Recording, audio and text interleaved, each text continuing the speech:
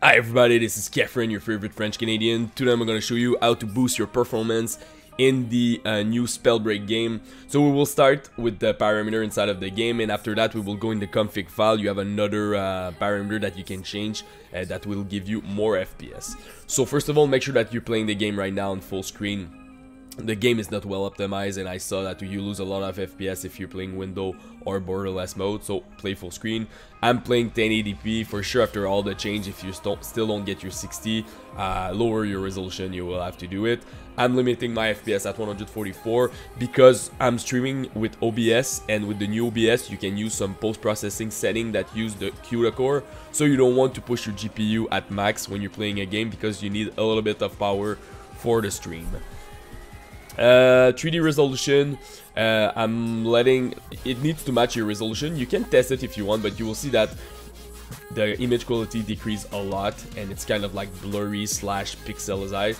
So um, yeah, don't touch it. It's pretty much last resort if you still don't get your 60. View distance, I'm playing at medium. This one is really important. 4 to 5% of FPS increase by bracket. But it's a battle royale you need to see, so play at medium or even far depending on your computer. Shadow, really important. When you remove shadow in this game, I'm just getting straight up 25 FPS. So just remove shadows. It's not really important in this kind of game and it will give you a lot of FPS. Anti-aliasing, I'm playing at medium. Uh, you can remove it, that's a cool thing if you have like really an integrate card in a laptop, something like that. But you will see a lot of like object and line are breaking. It's pain in the ass because sometimes you think it's an enemy. So just play at medium and you should be fine.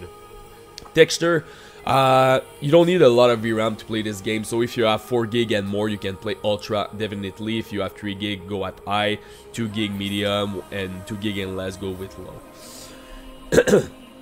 Effect and post-processing, those two, honestly, it doesn't affect your game when you're just running in the map. It's more like when you're fighting that you will see um, the effect of it when you uh, lower it. The problem with the game for me, it's not like to get a lot of FPS, it's to get a stable FPS because when you fight, jump, and you see like crazy fire and stuff like that, I'm losing a lot of FPS. So when you um, downgrade your effect and post-processing at medium, you will see that your FPS will be a lot more stable.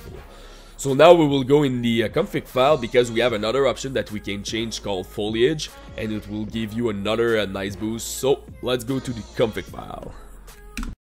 So now in the config file, so you need to go in your C drive, users, uh, the name of your computer, app data, local, G3, save, config, and Windows no editor. Make sure that you see your init file in your Windows to see the app data folder because you will not see it if you don't change your parameter.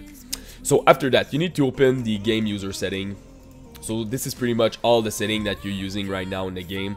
The only one you need to change is the foliage quality here at 1. Put this one at 0, save. You can close after that the file, right click on it, go to properties and put the file in read-only mode. Why are we doing that? It's because we want to block the file. For example, if you go into your game and you change your volume, your sound volume, uh, it will override your game user settings and because you don't have the foliage option in the game, it will probably reset your um, foliage at 1 because it was the default uh, option. So that's about it guys. If you have any questions, just come in the YouTube section. Uh, post me your CPU, GPU, and RAM. If you speak French, I'm streaming on Twitch TV. So Twitch, Twitch TV slash Kephren TV if you want to see my stream. So that's about it guys. Peace!